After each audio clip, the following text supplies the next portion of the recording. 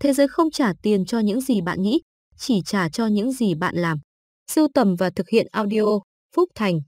Chủ đề, bí quyết thành công, những bài học vàng cho cuộc sống. Bạn chọn sự ổn định, nhìn vào sự thật chỉ là tưởng ổn định thôi. Rất nhiều người sau đợt dịch Covid-19 mới nhận thức rõ hóa ra chẳng có công việc nào thực sự ổn định, chẳng có ngành nghề nào thực sự ổn định, cũng có có vị trí nào thực sự ổn định.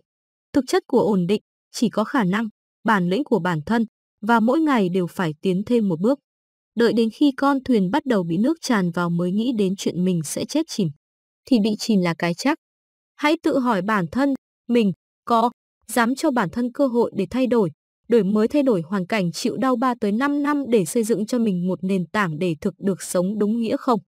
Cây rau, cây đậu thì trồng 2 tháng tới 4 tháng là được thu hoạch.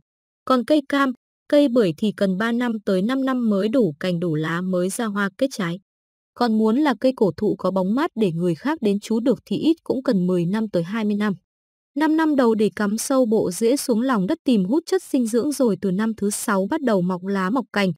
Dần dần âm thầm mỗi ngày đều tăng trưởng để nhân bản mọc ra nhiều cành nhiều lá, rồi mới có hoa có quả. Tự hỏi mình xác định mình là loại cây gì.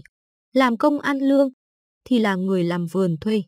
Làm chủ shop, chủ tiệm, chủ nhà hàng hoặc khởi nghiệp thành lập công ty vừa và nhỏ 5 tới 10 nhân viên thì là tư duy cây cam cây bưởi. Còn làm chủ của một tập đoàn thì là tư duy của cây cổ thụ. Phạm Nhật Vượng người giàu nhất Việt Nam hiện nay để thành lập được tập đoàn Vingroup như hôm nay cũng đã phải bôn ba ở nước ngoài 10 tới 20 năm mới được như ngày hôm nay. Bạn có đang có suy nghĩ như thế nào?